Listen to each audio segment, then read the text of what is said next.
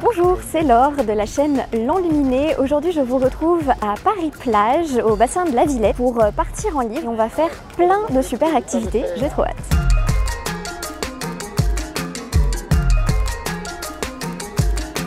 Et notre première activité du jour, c'est une lecture par Tierno Diallo. Nous sommes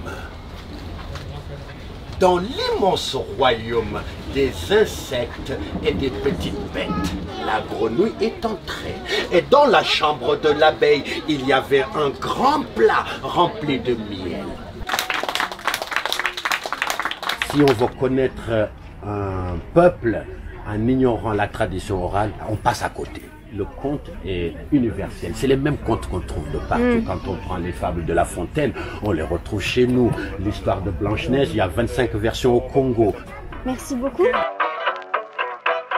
Deuxième activité du jour, on va aller dessiner avec Christian et Bania. Moi, je suis complètement nulle en dessin et on doit dessiner avec des formes géométriques simples un camion. Donc je pense que ça va être drôle. Ici, on a un caille.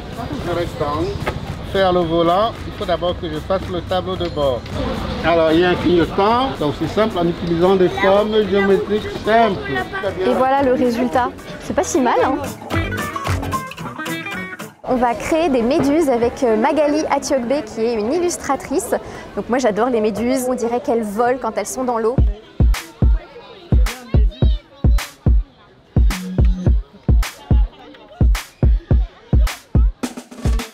Littérature, euh, c'est vraiment le- la façon de se plonger dans des univers. Il y a la notion de plaisir et la notion de voyage immobile Ah, aussi. voilà, c'est ce que j'allais dire. Parce Donc, qu'on peut partir très très loin en fait en restant euh, au même endroit et ça c'est quand même euh, magique. Qu'est-ce qui te fait partir en livre? Du moment où il y a euh, une histoire avec euh, des, plutôt des, des émotions qui sont assez fortes véhiculées, je me- des fois je me reconnais un petit peu dedans. Quand on se retrouve seul, Bah avec un livre, on se sent accompagné, on, on se plonge dedans.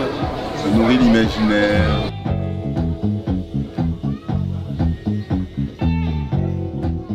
Je pense qu'il y a personne qui aime pas lire, je pense qu'ils n'ont pas trouvé le bon livre. On a de la fantaisie, on a de la romance, il y a vraiment de tout et je pense que chaque personne a peut-être euh, des affinités avec certains genres et ne l'a peut-être pas encore découvert.